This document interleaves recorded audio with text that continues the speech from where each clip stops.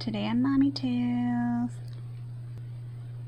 I just watched another Mommy Tales from India, and she was super encouraging, saying that I'm enough,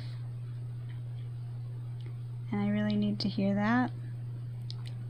My face is starting to look really different, but my high school reunion is this weekend, and it's near my parents' house. And there's my phone charger.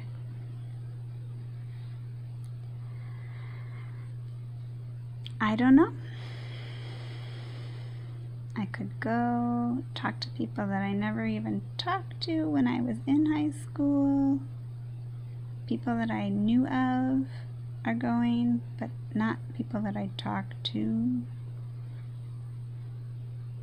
People that I knew were in a certain club or just in a particular group of people that I didn't necessarily hang out with, but I'm a grown up now and maybe I could ask them that one question like, why did that one weird thing happen in the cafeteria that one day?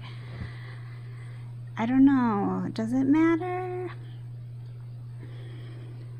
Anyways, stuff that I let go of that I don't know. Does it matter? Is this really the first priority? I don't think so.